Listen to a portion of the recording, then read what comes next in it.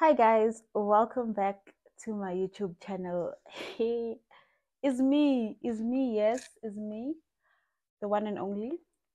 Um, I've been away for a very long time, a very long time, and I've had people actually ask me what's going on, Gift. Why are you not posting?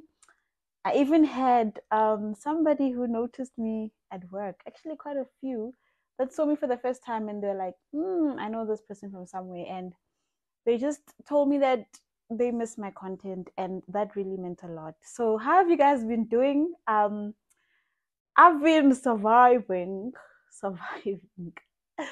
Yo it's been quite a change. Um uh, as you guys know i'm doing my second year in um, my training contract and it's quite different from being a first year um and i think that's a video that i don't know if i'm doing now or because I, I, just actually just came here to give you guys proof of life and just tell you that I, am I'm I'm still alive. The channel is still going to operate. Um, I have content that I'm working on that you guys I believe will love. So watch out for that during the course of the week. But this is basically like a catch up video.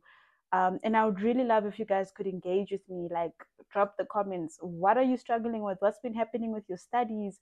how's the job hunting are you stressed like i need to know all of that so that i can work around um, the content as well um, in terms of are you guys struggling with workload are you guys struggling with understanding um, honors or whatever it is that you're doing third year second year first year i know i've engaged quite a bit with um, uh, uj students um, the past couple of weeks uh, got to speak and all of that maybe I'll I'll drop in a video there just to show you guys what I was up to. Um, and it's just me trying to juggle my life, um, gym, you know, uh, being a second year, working with first years, um, the new responsibilities that come with it. Uh, it's quite different. Um, your managers trust you a bit more now because you're more experienced, and you obviously have to transfer your knowledge and skills to the first year, and that's also like something different that um, takes up a bit of time compared to last year where you just had to go and just type hi i need help. I'm stuck.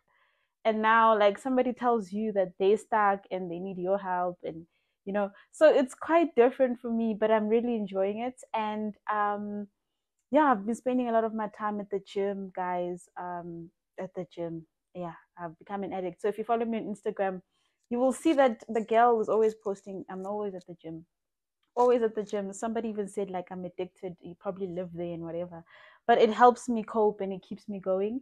But I realized I need to come back. I haven't been posting on TikTok. I haven't been posting on YouTube, and yeah, I just there's a lot that I want to do with you guys, and I want to know if you guys are interested. I want to have classes um, for tutoring, a program, all those things. I know a couple of people were interested, but yeah, it's just a lot has been happening. But um, obviously, some of the things I'll have to do like at a fee because um, yeah, I need to be able to like prep, bring in people for you guys and all that. But I really want you guys to do well this year. So please let me know how your studies are going, how you're feeling, and and what are your plans for next year. You know, um, and we're expanding on this channel. We're expanding, so there'll be bigger content. If you've seen, I've already started working on explaining to you guys that you don't have to have um, the same qualification as me, which is internal audit.